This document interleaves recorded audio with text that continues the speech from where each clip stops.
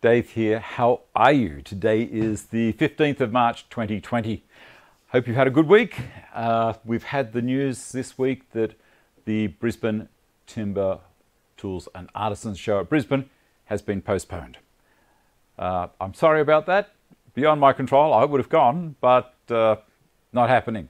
People that have entered the competition, obviously, sorry, no competition.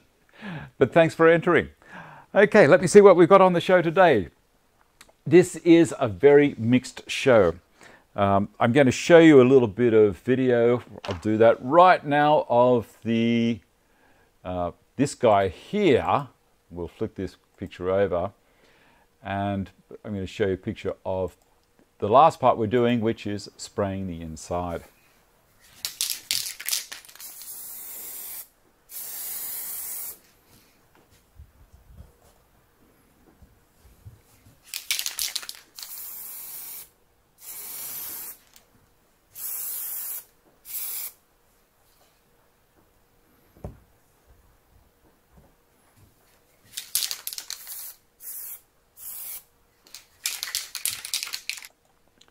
Now to be totally boring, I'm going to do another coat on that. I did that about an hour ago. So what we're going to try and do is it's a quick drying paint and it's a satin finish. It almost looks like black japanning. That's why I'm using it. So I'm going to go down there. We'll put another coat on now. And by the end of the show, I should be able to put that on it and we'll see how it's coming along. Before I go down, I'll quickly read through the rest of what's happening.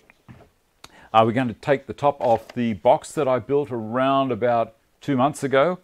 Um, there's an interesting development that's happened with that box while it's been sitting off to the side under an air conditioning unit. Something that's a heads up for everyone. Uh, oil a hose clamp. Why would you do it? I'll tell you why and go through it. Uh, belt sand, apply to thickness. I've got the, the, sorry, not belt sand, drum sand. I've got the drum sander set up here. I'm going to go through changing the belt on it just to some people that might be interested, we're going to make a spacer to help with cutting this lid off the box by using the router. You can do it with a table saw as well if you wish. Um, cut sandpaper, oh, the sandpaper tubes that I made.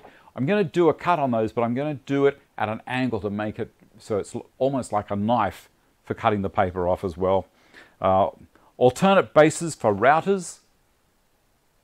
You know, there's some interesting things out there. You may not be aware of them. Uh, centering mandrel and bush, so if you want to be able to center, I'll, I'll go through all that. Uh, glue label on a CA bottle. Now that might sound really lame, but it's interesting and I've worked out a little way to do it very effectively. Uh, wood show postponed, I've already spoken about that. Protractor use, and it is different to the TSO model.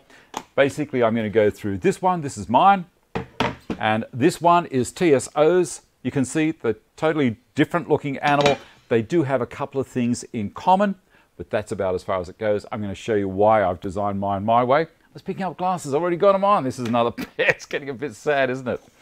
Um, the plane, the plane, I'll show you my plane. If you haven't seen the video of me making it, which is, was released during the week, I've got it here with me at the moment, and I can talk through some finer details. And then we'll put the knob back onto the 220.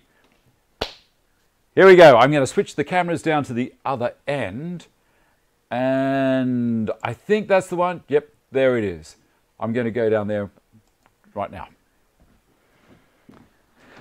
Ah, the weather has been absolutely beautiful yesterday, and uh, today it started raining again. So you'll hear rain on the roof every now and then. Now, this is how it's coming on. It's, I'm really happy with it. There's a couple of spots where people are going to say, Dave, you should have spent a little bit more time preparing it. But you know what? I like it. So it's got Turner 220 and there's a number 6 there. I don't know what that's all about. Made in Australia down the bottom. And it is a satin paint.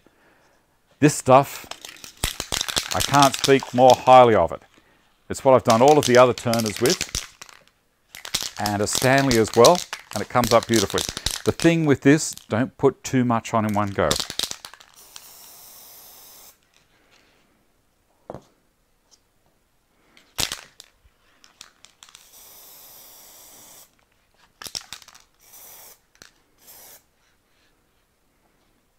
Bit there. and done.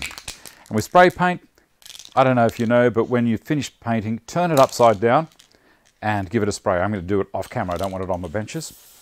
And it, it runs clear. That cleans the nozzle. All right. I'll move that out of the way to the side. I'm going to move this. Well, I, don't have to leave it on there anymore. I can take it off. It was only for the overspray. You can see I've masked all of it. And uh, it's going to come up nice. I'm going to move this down the other end of the workshop because we're going to be working here with the router. Give me a sec. I'm going to hide this all the way down the other end so it doesn't get any dust landing on it. It's going to go under. Me swing this camera back. Under, under, under. There we go, back here. I've put it underneath the little thickness planer under its outfeed tables so nothing will fall on it. All right. You enjoying the show so far? All right. Going to go back down to the other camera and we'll go through the next part. Put the eye muffs on in a second. Now here I have my little DeWalt trimmer. It lives underneath in this area here. It's very, very handy. I have it hooked up at the moment to, it just lives there. I have it hooked up to the dust extractor, the little Festool. I'm going to raise it up so that, just for you to remember, this is the box we were working on. And isn't it lovely? This is the one that's got the edge that I book matched. So I managed to get the grain to follow right the way around the box. There is no break in the con continuity of the grain. It's just magic. Now, one of the things I did say that it was been living under the air conditioner and it developed a split. And I'm going to have a hard time trying to find the split. It's there somewhere. Pardon me. I don't have corona. That's just a little bit of the spray that's affecting me. I've lost the rotten thing. I swear there was a, there was a split in it. Oh goodness, it's really important because I don't want to cut the area. I can always glue it, but yeah. All right, look, I'll move that back up there.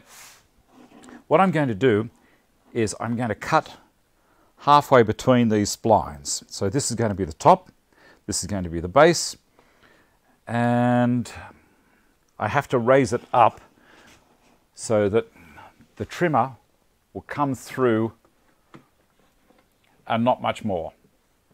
Can you see that? I think that's about enough. So I'll lock the trimmer in position there. This is a, fifth, a 5 32nd, I think, which is around just on 4 millimeters. Now, to stop this wandering all over the place, I have the option of these two fences that I made for this. This one is a dust collection specialty and it works really well for that. But the thing is, it's not going to be over there. It would be back there. So I'm going to go with the other one that's the clear sheet. And instead of going that way, I'll go this way because I'm going to be back. This is just some 5 16th T-bolts into the track. And these are Kreg tracks and I Kreg mini tracks. And I had to grind the side of the T-bolts so that they could fit inside this track. All right, coming back a little bit, I think about there is going to be very, very nice. Lock that. And the other one.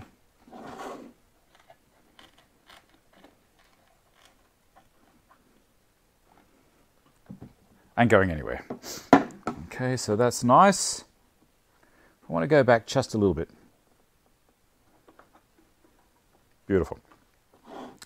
Now what I'm going to do is I'm going to do one pass right through the base and then I'm going down the other end and we're going to make a spacer that fits in there nice and neat so that, uh, well, you'll see why. Put the eye muffs on and This is going to be a little bit noisy. You may want to turn the sound down a little bit. Going slowly.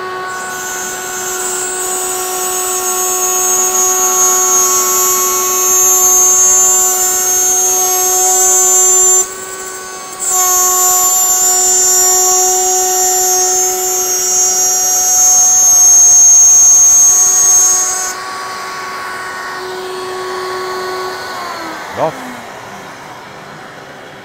That is a very, very, very neat cut. Now I'm going to go down, we'll come back in a minute, but I'm going to go down, we're going to use the belt sander to size a spacer for there. The drum sander, I should say. I keep calling it a belt sander. Well, it's got a sanding belt in it. Flip the cameras to There, got it. Right.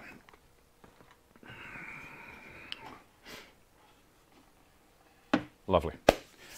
Now I've got this set up. I'm going to have camera in the corner, that corner I think, wherever it is. And the other one. Let me see if I've got them. Indeed I do. That's a little bit better. All right.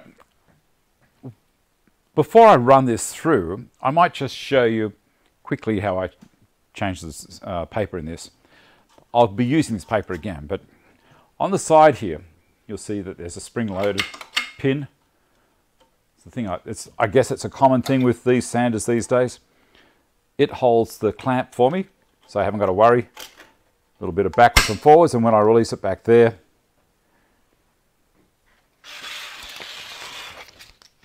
that's how it goes. It's very, very easy and then putting it back on. Oh, there's just a little spring clamp under here. Uh, I'm then putting it back on. I hold it so that it's parallel to the end of the drum. And then it starts cut. They cut this paper, you know, specifically for these things. You can cut your own. You could, if you've wanted to, bring that over there. What you could do is you could keep one of these belts and use it as a template if you wanted to, to use someone else's paper. The coloured paper that I'm going to be talking about a little bit later on in the show, I think you can do that with it as well. Maybe I should do that on one of the shows.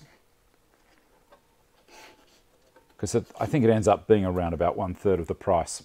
Okay, I'm going to push this back in and that, whoop, gotcha. That's locked it. Slide her in slowly.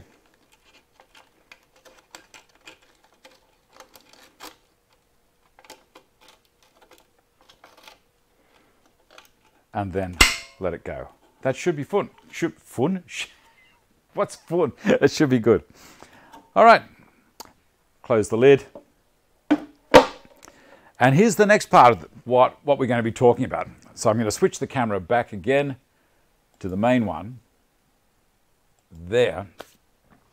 When I went to put the dust hose on the machine yesterday, because I try and do a little bit these days without uh, looking too much of an idiot.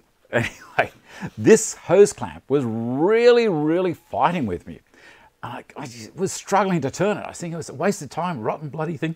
Anyway, what I did was I got some oil. You know, when I step back a little bit, aluminium ladders, you know those ones that fold up, they've got four sections and they've got these special hinges that lock and click, click, click, click. Mine was stuffing around big time, so I put some oil on it. Best ladder I've ever owned. It, we think that aluminium doesn't need any uh, oil on it. It does, and it works so much better. Give it a try. If you've got one of those ladders, oil the hinges. You'll, you'll be amazed. Do the same thing with these. So put some oil on it, spun it through a few times, got some expensive paper cloth. Hasn't everyone gone crazy with toilet paper and things like that? Anyway, got some, cleaned it all up, and now works like a new one. So I'll pop this on. It's just crazy. Now also on my dust hose, I have, I have one of these little straps that's got a hook on the end. For one reason, I hold it up against the wall over there when it's out of the way. And the other reason, it's quite handy to hold, pull it along anywhere along to hold it out of the way of the machine you're using it with. Just a little tip. Put the hose clamp on, put that on, and then, oh, look at that. That's easy. Oh, such a change, such a difference. See this thing here, I can hook around the back if I wanted to. I could put another one further down the track here if I wanted. I'm going to open the blast gate and open the blast gate down the back. And I do have that special thing hang off my hip. Uh, open that one up, close that for the moment. Alrighty, switch the cameras and to this one, transition. IMOS.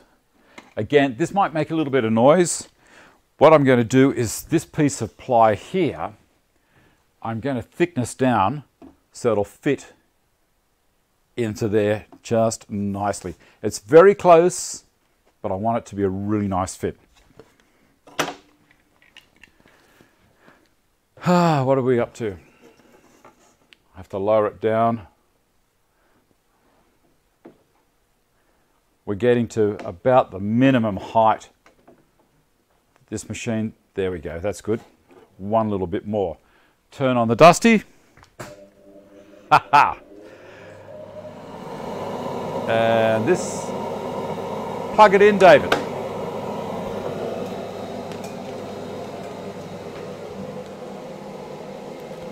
I've got the cable running down the side of the hose as well, so it's always there. There we go.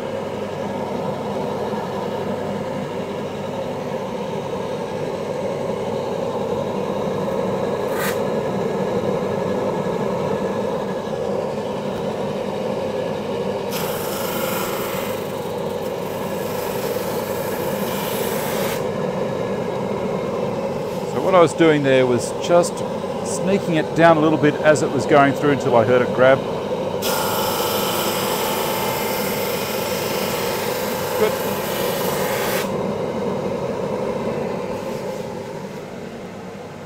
And I'm going to keep on bringing it over here to test it. Go again.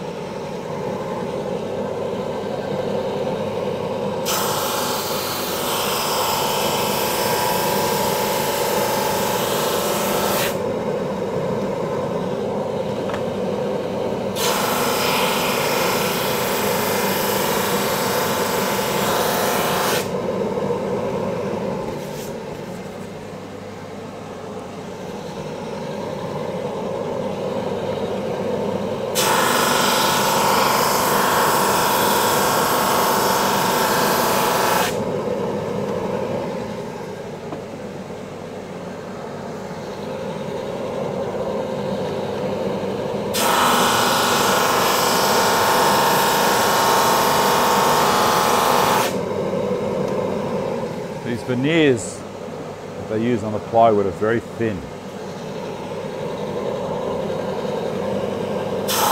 On the surface that is, anyway.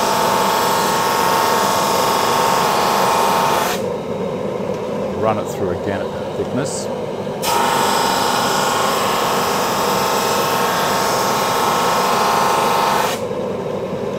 See the difference there? If you run it for a few times, you've got to allow the sander to actually sand. See if we can take a bit more off.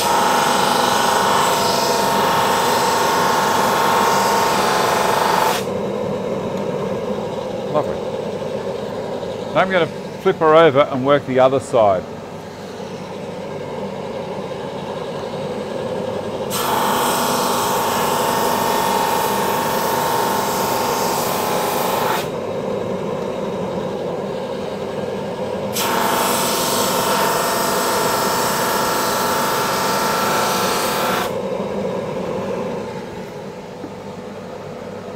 Well, that's getting real close. You know what? That's just a touch.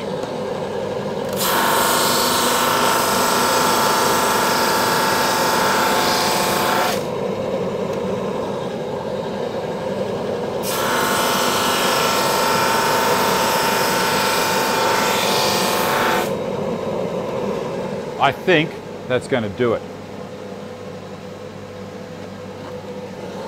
Beautiful.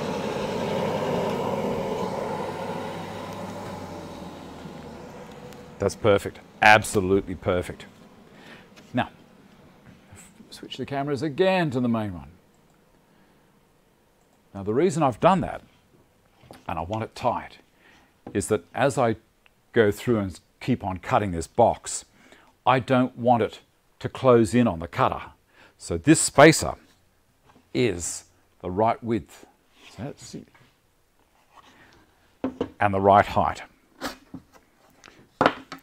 See that? That's just perfect. Now I will keep this as well. I'll just keep this in a drawer and uh, I think it'll be fine just on its own. I may put a little hole in the top there so that when I put it in, uh, there's different ways of doing it. Maybe elastic band around that so it can't drop down on the final pass. I'm, I'm just thinking ahead. How are we doing? 21 minutes. This is excellent.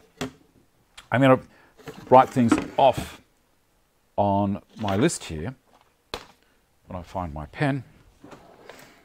Yep, I'll use a pencil. Okay, we've done that, done that, uh, done that, done that, done that. Change the paper in the drum. We're down to the fifth item. Finish cutting the box lid off. Tragic. All right. But it's interesting, you know, these things, if you didn't know, like there's a lot of people watching who'll go, yeah, Dave, we've seen all this before. We know it. But every day, someone else is starting this little journey down the rabbit hole of woodwork, spending money on machines and tools and everything, getting the bug. Uh, and I'm sure they're appreciating what I'm saying. All right, next thing we'll go down to the other camera again when I find my IMAF switch there just here. It's a shame the show's not on because George was in the booth beside me down at Canberra, and it was going to be the same thing up at Brisbane. He was going to be had the booth beside me. We'd yabber away, and you know I'd be wearing these, demonstrating, and he'd say, "Look at this! Look what Dave's doing." It's a bit of fun. All right, back down to the other one, and I'll take this stuff down with me. All right, down here. Now, I haven't moved anything here. This is very important. I'm going to, what I'm going to do is I'm going to cut from this side to that side because I've already got that cut there. And then, oh, I don't know if it's going to make that much difference because I'm going to finish off anyway. Yep, oh, look, I'll go this way. I'll go it. Why not? So I'm going to do two ends and then we're going to do the, the face.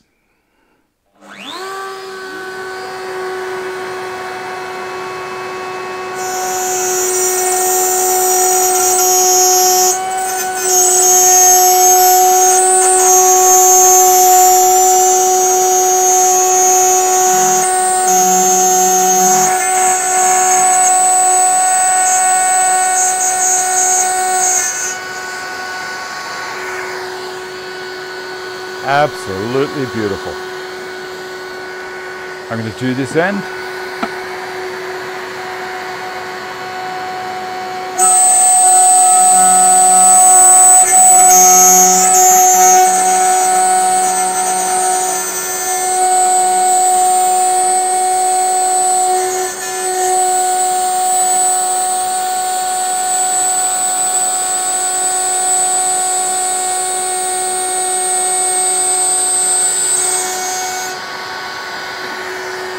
looking good. I'm going to turn it off for a second.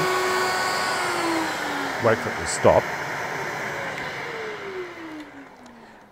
Now you can see the reason we're doing this is watch this.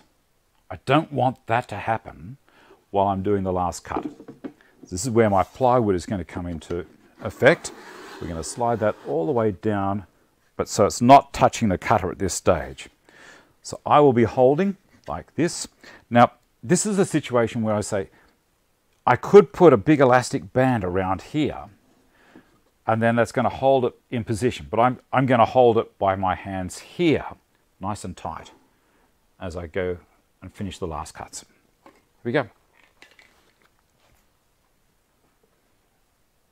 Turn you on.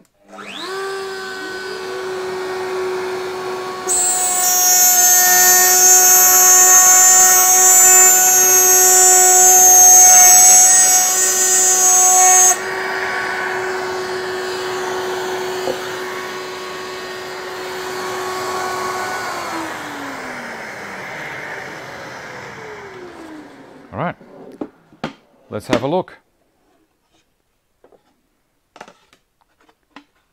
Now that was worthwhile doing.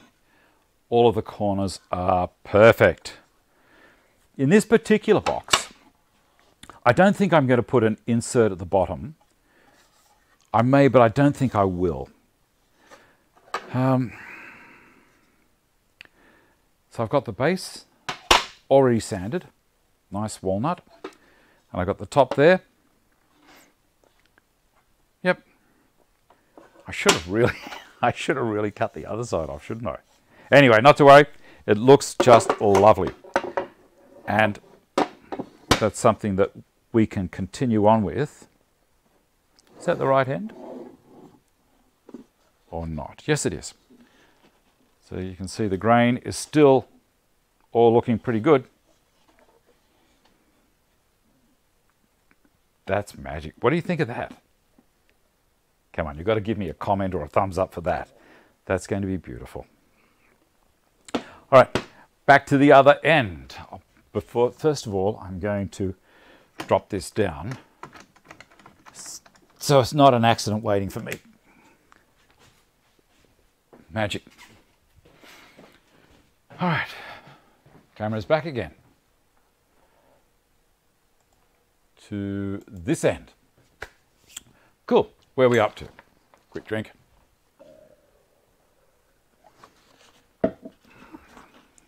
Pencil.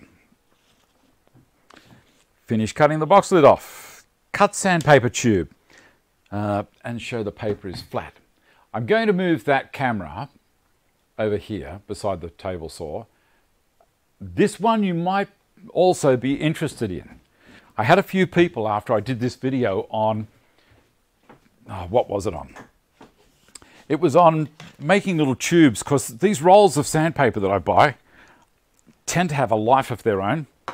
And if you don't, if you don't um, flatten them out, they're a problem and they don't like to stay flat. Even if you flatten them out, they don't like to stay, they, they curl back up again. Doesn't matter what you do. I did those tubes about three weeks ago and I've take the paper out, it's nice and flat to start, and then it starts to want to curl back. So I have to store them that way around. I'm going to have a look at the other camera, see if it's okay. And I need to tip it up just a little bit should be okay there. All right, that's better. All right, here we go over to the other camera now. Now, some people will also say, what's this Carl Cam thing? Well, Carl's a guy who used to watch, he probably still does, and he very generously bought me a camera. So I've named the camera after him. All right, here is my 320 roll.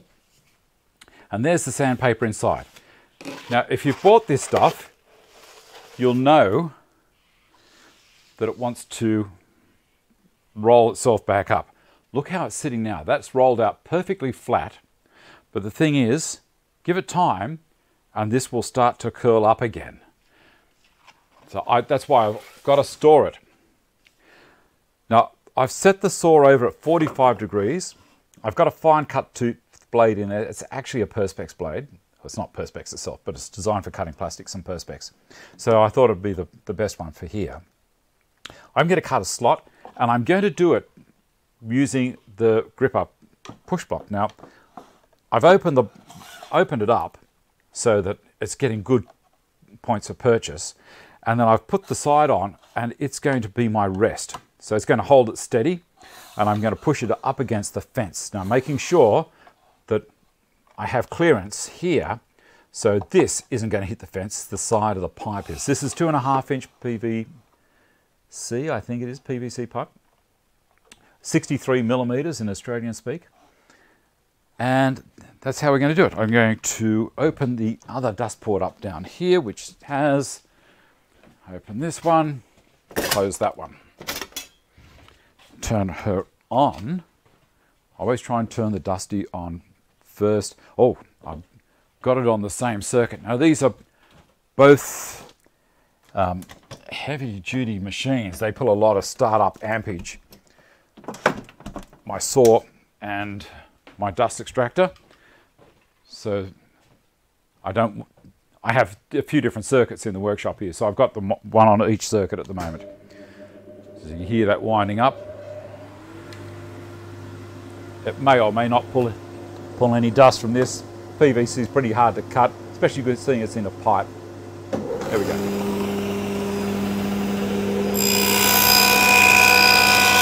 Now the trick is not to push too hard. The harder you push down, the more it's going to want to close up at the back. Now you notice I do have the riving knife there. See what I mean about closing up at the back? This little bit here. Turn that off. I like this. Some people had made suggestions to um, This is so much better. Some people have made suggestions, this thing on my hip, to get one of those retractable things so I can pick it up and aim it above different things that are hanging around. All right, here we go. Roll this back up again.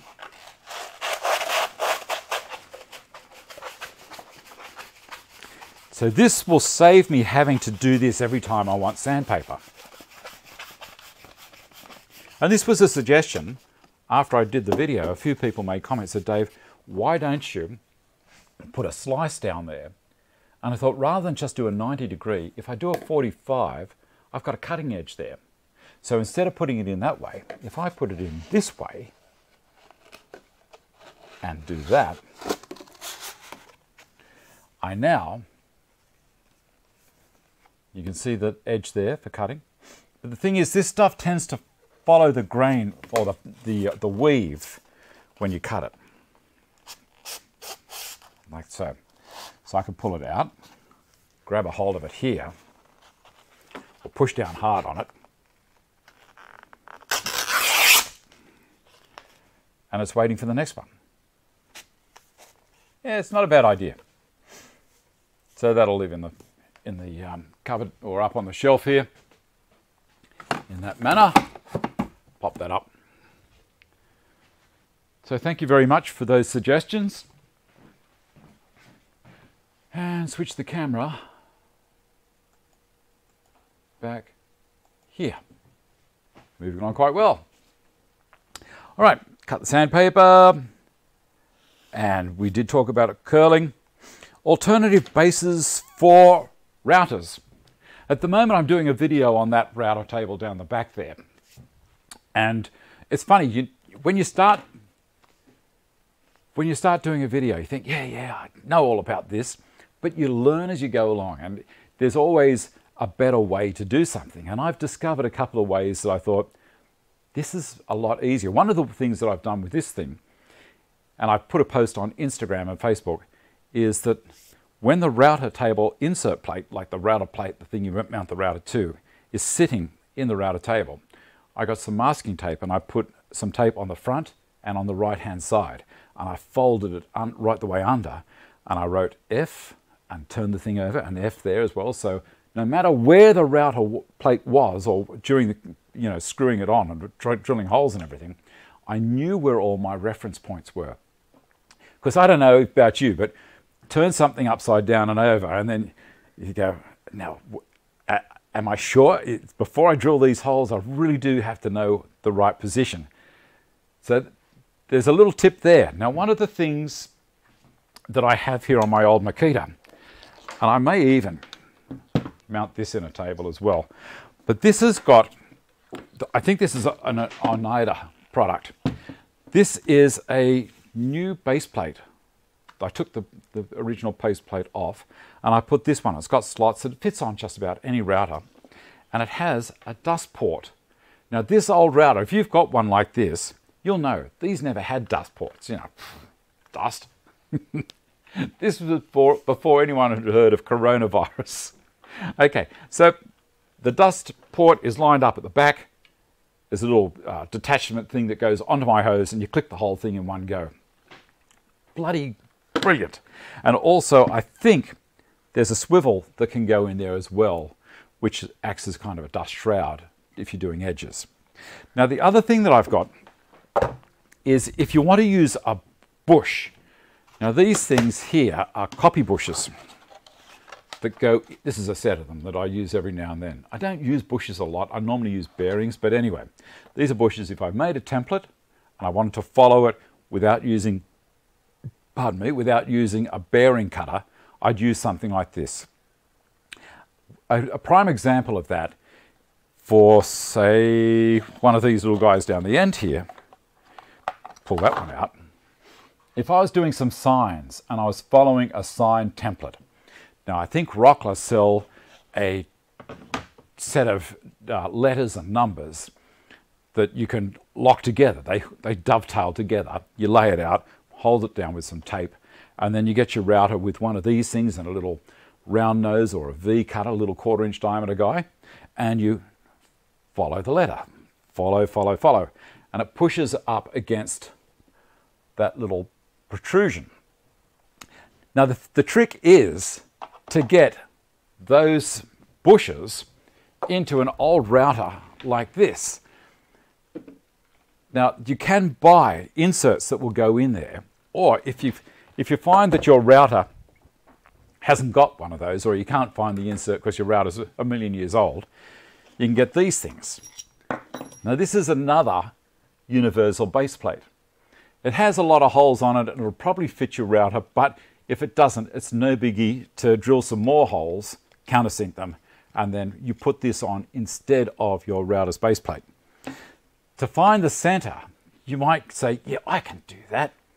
But if you don't have it dead center and you're using one of these small bushes, you might find that your router cutter is actually going to collide with the side there because you only have to be a millimeter or a half a millimeter out and it's not going to fare well for you and all of your pattern work will be offset. So this is called a centering mandrel. See that looks like a golf tee and it's brass. So my suggestion is if you get one of these, put a small bush in it and they finish flush. See there's a little rebate. Can you see that? Is it rebate or you guys in the States have called it a rabbit.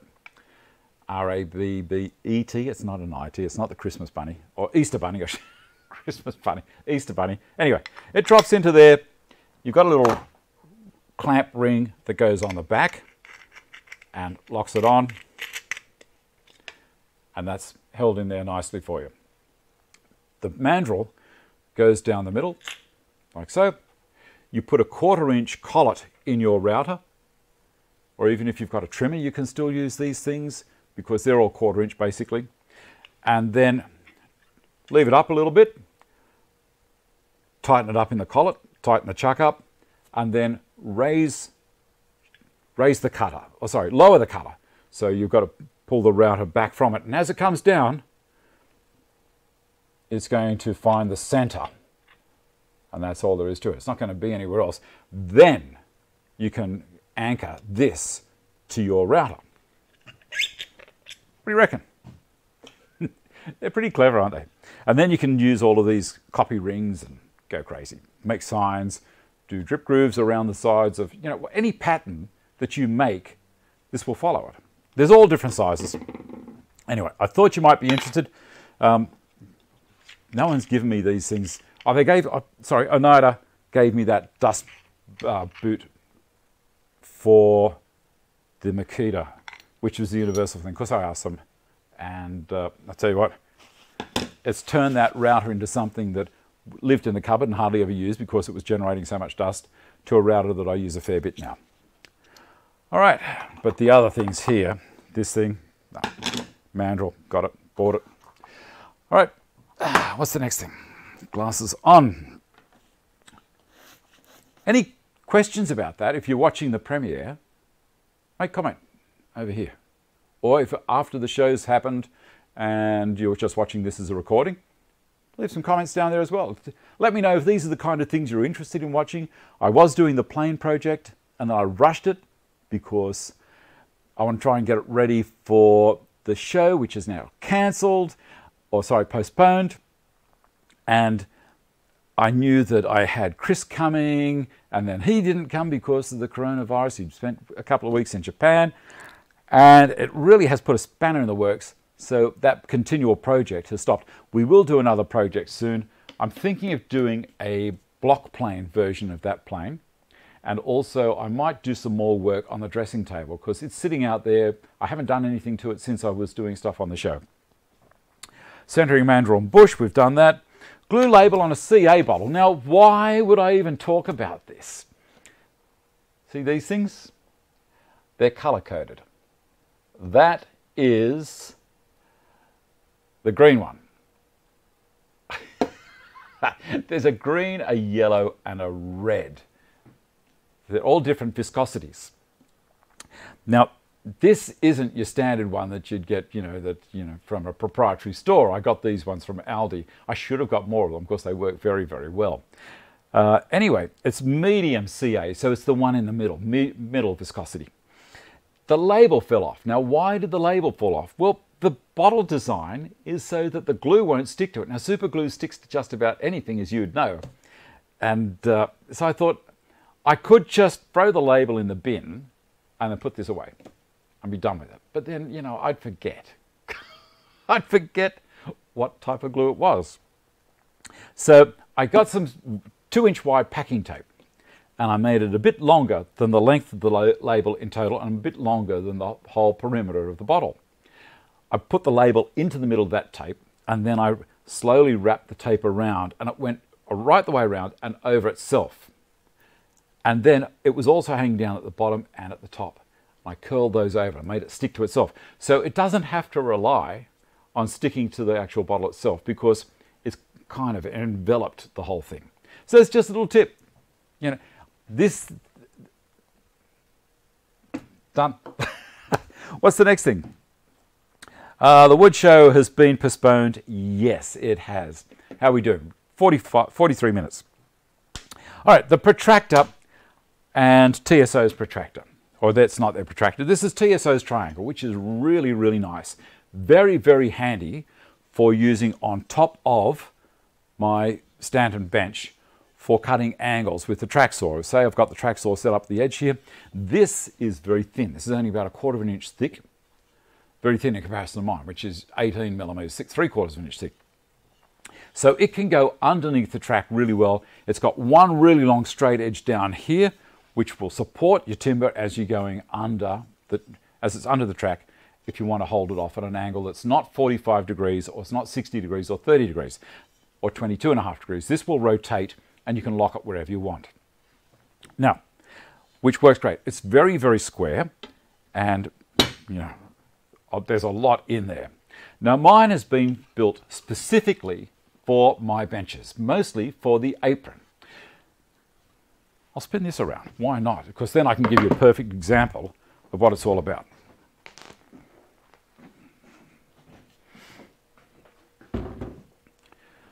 All right, that might work just lovely. And I haven't even got any dogs out yet. Ah, where are we? And I've got one more dog that I've got to get. Give me a sec. Uh, I think I'll put them all outside at the back. Um, this one might work. It might. Very, very close. Anyway, if you've watched the video that I did on um, on on building the plane, you'll see that I used this support at the front as well. Now, I'll switch the cameras over so we can see what's happening down the front here. This we'll have two cameras again. There. And bring it back to about there. That's okay. And up a touch. Now you see in my bench, on the apron here, I've put some inserts. So these are 8 millimeter inserts, one, two, three. What I've decided to do is forget the other two. I'm only going to do these. So going forwards, all of my benches are now going to have one here, which is three dog holes in, and the same over on the other side, three dog holes in. There'll be another one over here, which you can't quite see. It's a couple back that way. Now, it works. I, I have some, uh, John's made some dogs for me that will fit in from the back and can clamp on, but at the moment I'll just do that. Now you'll notice also with my design, it's flush at the top. It's never going to come past the top. If I was to use the one from TSO, it's going to rotate down there somewhere. Uh, not really interested in that. I want support up at the top. Also, you remember that with all my stuff, I design it. Let's, let's put that one in. I design it so it's kid friendly. So even this corner here is not sharp. These aren't sharp. Wherever it goes, it's just going to be beautiful. Now, I've got your common points. This is uh, 45, um,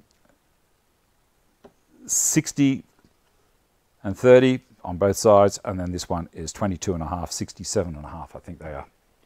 So I can lock those in into the dog hole at the bottom. Spent, I spent a long time working off this center in, in CAD to get these absolutely perfect. So they're 192 millimeter centers. It's pivot, everything pivots off this point here. Now down here, I can take that out and put this in. And that's a clamp at any position that I want to put it.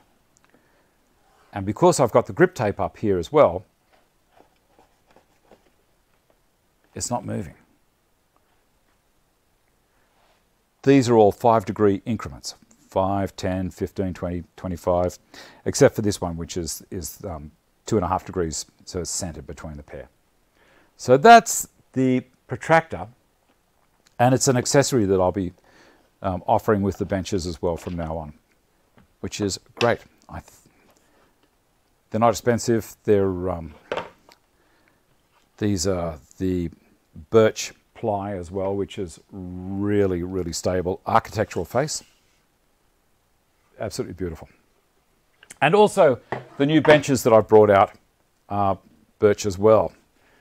So I'll be selling those. I don't really want to turn this into an advertisement, but I thought I'd just let you know what's going on in the background because this is all stuff I was going to talk about at the show. Um, the birch ply cost me a little bit more, but I think it's worth it. It's extremely stable. It's and it's the same thickness all the way through. It's a joy to use on the CNC. If you're thinking about doing plywood stuff, on the CNC get birch. All right, so there we go. Wood show, the protractor, the plane, the plane. Here we go. This, a lot of people have probably been waiting for this part. This is the hand plane that we were building on the show. So the bottom is Jarrah, and I've waxed the base. The sides are Padauk, and they've just come up beautifully.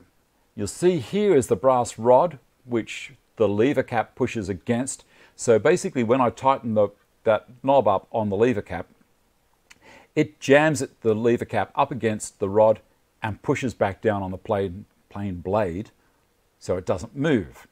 Now you might notice also on the side here that I've put grub screws in down here. Now these are a 5 16th grub screw and they are to stop any sideways movement at the base where the plane is, where the blade is you find that Veritas do this on their really exclusive planes. They're really, really nice. So I thought, I'll go up, I bought a couple of dollar fifty screws, bought a tap, a 5 16th tap, and there you go. Watch the video. It's, I take you through the whole build.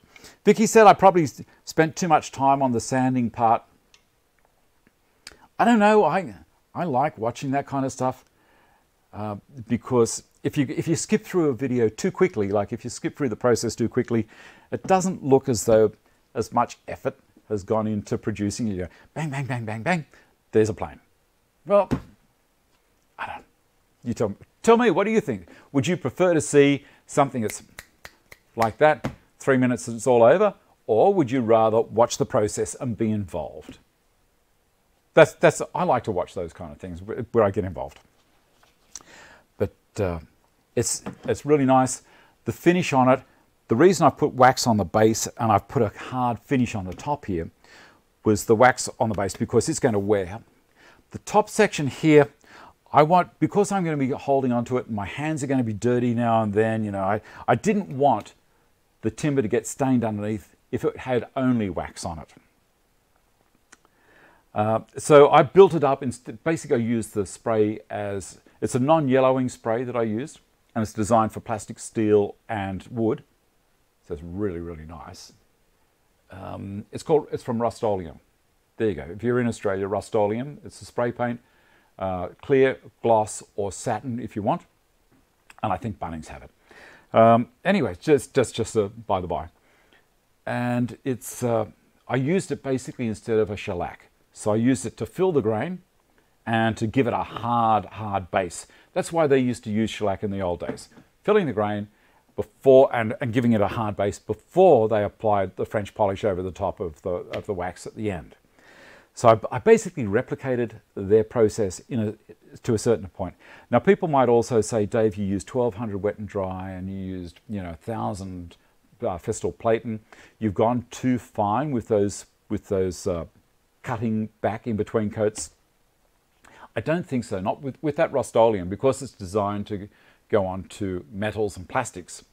They're a very, very fine finish already. So it, it, it gets a hold and it's not releasing. It's just magic. I wanted to get it as smooth to touch as it is smooth to look at. I wanted when people pick this up, me in particular, I use these things all the time. People say to me, Dave, why do you use these other machines? Why do you use Festool? I like something when I pick it up works, looks nice. I keep things clean in here for the same reason. It's just me. Now also, Vicky was making comment. She said, after I showed her the video on, on making the plane, and I was planing, holding the plane at the front like this, not like this. She said, but why weren't you holding the handle? Well, it's a different process. When I'm doing edges of boards, I always hold the plane like this. Because I can steer, I have much more control, rather than up on the top here, not really knowing where I'm at. On, this, on the side here, I can use my fingers to keep it in line as I'm, as I'm passing past there. So it's basically a little depth gauge. Uh, if I'm doing a surface, like if I've got a couple of boards that I've joined together and I want to flatten it out, then I'll go to the front handle here and I can get a fair bit of weight down on that front handle, which is, did I tell you it's an afterthought? it's after I glued the, the rock maple to the jarrah, I had a couple of pieces hanging out either end and I was about to cut it off and I thought, hello, I think I've got something here. That might be a handle.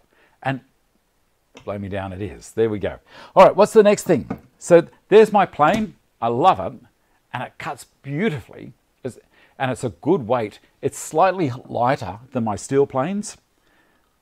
But there's enough mass there for it still to work. And I would have loved to have gone to the show and taken this with me so you guys could have actually picked, picked it up and had a go with it. You, you would have loved it. Maybe the next one.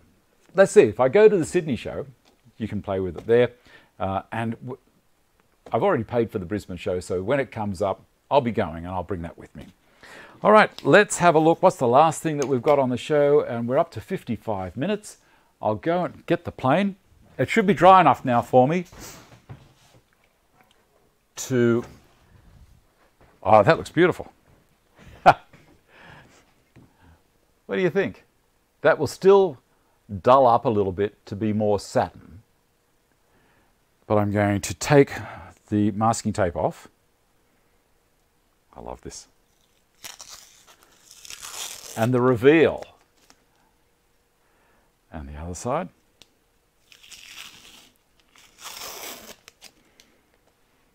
There. Now, isn't that looking a little special? And we'll put the knob on.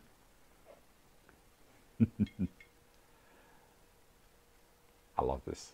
Absolutely love it. There we go. There's the knob on the black base. And you wait till that paint over the next day or two, that paint will end up being very much satin. All that gloss will disappear. Now, I'm going to remind you what it looked like. this. Now, as I say, remember what this looks like now. Here we go. That's how it was when I bought it. That's how it was. And this is how it is now. Going to bring it up closer because I know you want to see it.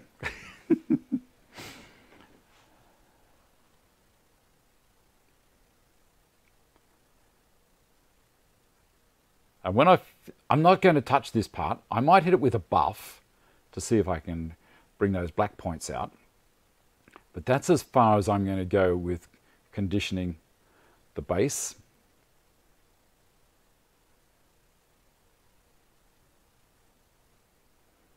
Slowly coming along. That's a little project that we've got happening.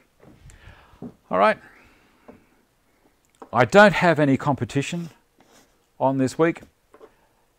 Next week, um, we might look. I don't know what we're what we're going to do next week, but Maybe we'll do some more work on that box. Maybe we'll do some more work on the plane.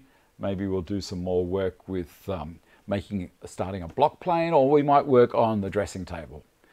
But anyway, it's going to be fun. So go over to this, this here, and this here. If you like the show, give me a thumbs up. Subscribe to the channel. There's a link down there. Thanks for watching. Look after yourselves, and I shall see you next week. Bye.